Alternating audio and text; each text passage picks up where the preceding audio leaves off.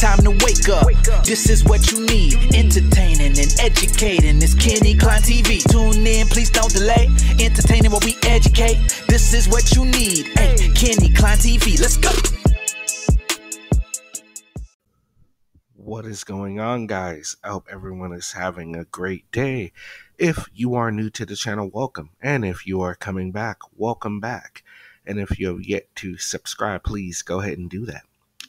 All right, so today we are taking a look at Nick's audits. Now, in this video, our good buddy Nick, well, I really wouldn't call him a good buddy, but Nick decides apparently he's going to a um, post office now, he doesn't really show any of the interaction that happened inside the post office, what led up to what you guys are about to see, but apparently, whatever was going on inside, they really didn't appreciate it. You guys can imagine what that could be like, I'm sure. And it picks up with the police already being on the scene, and that is where we will pick it up and see how things go.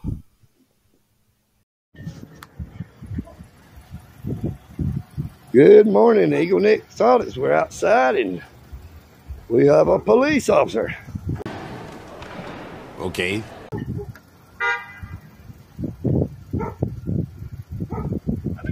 Good morning, sir. How you doing? Oh, we uh, oh a funeral. Yeah, we got a funeral going on right now. So are you here for the funeral or are you here for the man with the camera? I have no idea.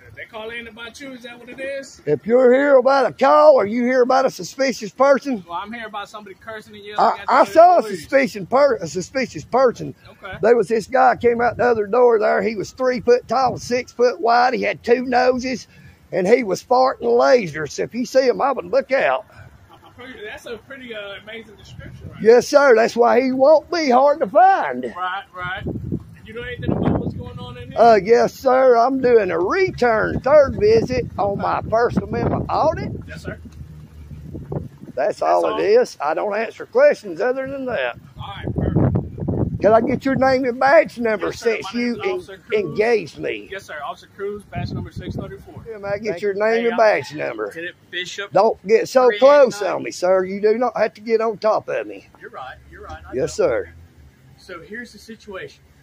Okay. Sir, the situation is I'm standing here with a camera. Yeah. I'm doing a continuation of my First Amendment audit, which is protected under the First right. Amendment of the United States Constitution. You're right.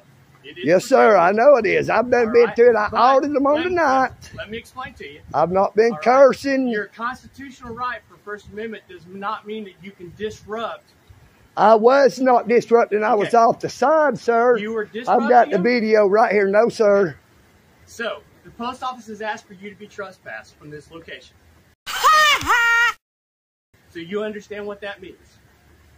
So being trespassed from this location, if you return, you will then go to jail for criminal trespass. Okay, uh, let me let me Nope. state this, Nope. sir. Nope. If I You am have trespassed from public trespassed. property, You are trespassed. if I am trespassed from public property, that is a violation of my constitutional rights, Which- and I, It's false. No way. Not this time. I don't know where they get this notion that you cannot be trespassed from public property. People are trespassed from public property all the time. There are people that are banned from going to parks and things like this because they are doing stupid things, right?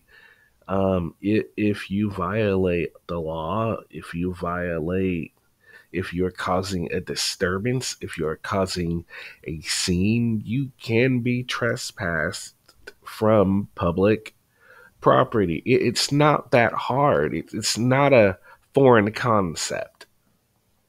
Uh, I will sue, sir. This is the public, sir. Can I get your name and Which badge number? Which constitutional right is that from being trespassed? Officer I am performing a First Amendment protected activity, Okay. which is freedom of the press. Okay.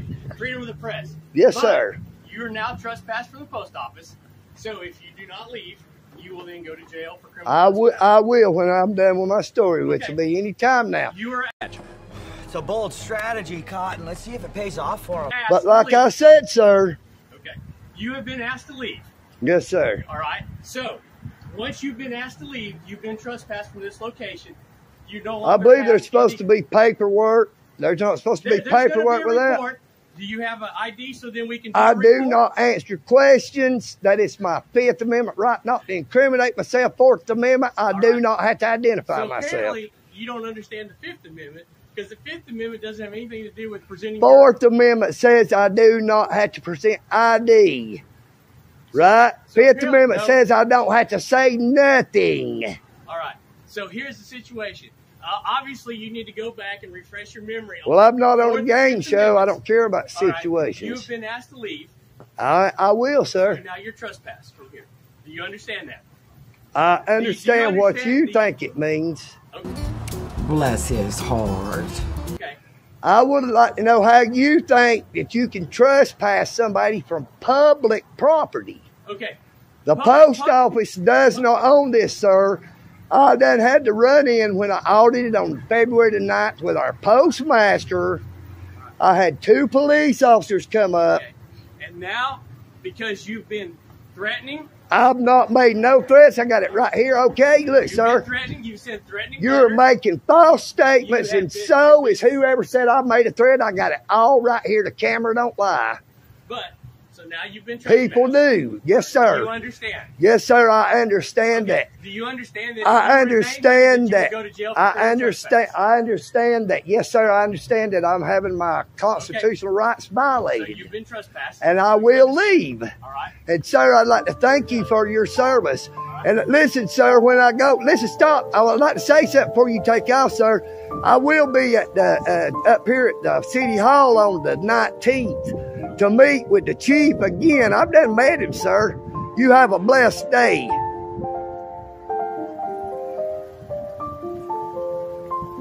Talk all that trash, trespass. Can't trespass somebody you don't know their name, Duff.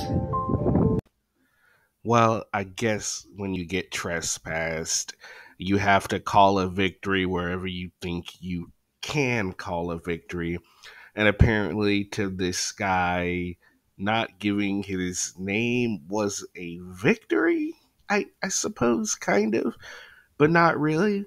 When you really think about it, okay, so if he's not getting trespassed and he can't get trespassed,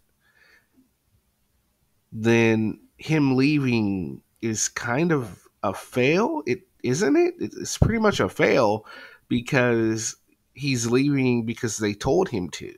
He's allowing them to supposedly violate his rights.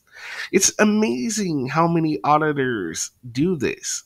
C- could you imagine if other civil rights activists, if other um, protesters decided, you know what?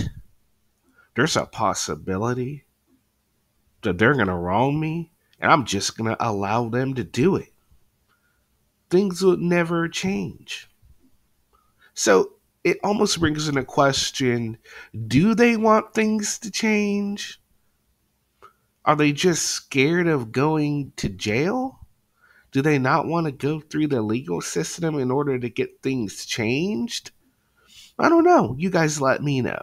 What do you guys think? I thought the uh, police handled this situation great. Um, trespassed the guy. The guy just was a dummy. Anyway, let me know what you think. All right, guys. I hope you all have a fantastic rest of your day, and we will see you again in another video. Peace. We've only just begun.